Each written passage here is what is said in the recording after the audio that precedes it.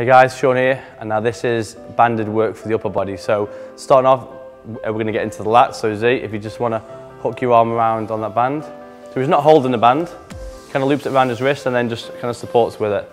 Then step back, and then just sit into it. So similar to the, the basic one, feeling the stretch here. We'll look for twisting the arm around. And then also Z is just to rotate, is just to move your body side to side twisting the arm back and forth, really feeling the pull all the way down this area. Good. Second one, and we'll get into the chest. Chest and upper shoulder, so we'll use this band here. We'll stick that around your one arm. So it's around your elbow, around your elbow. Now put your arm behind your body.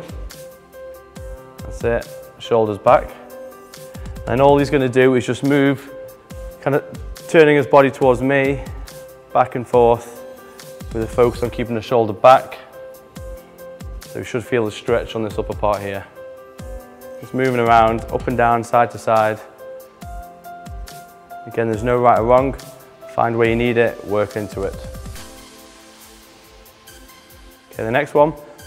Okay, let's grab the thinner band. So Okay, this one's looking at shoulder internal rotation, so hold the band above your head.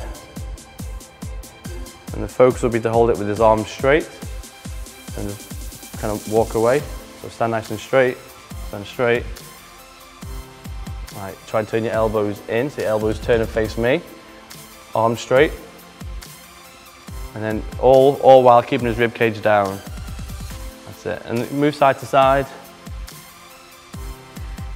Good. Arch a little bit back. So we should, so, so do you feel us pulling here as well? And then we'll take it behind the body. So put your hands on the outside of the band. And then just walking forward, arms straight. Walk forward a bit more. Take your arms up a bit higher. So his shoulders are back.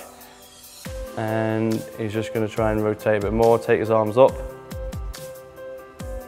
Again, you can move around side to side, or on this one, I'd say even bend your knees. Bend your knees so you get a bit more height, get, get down lower, get down, get down.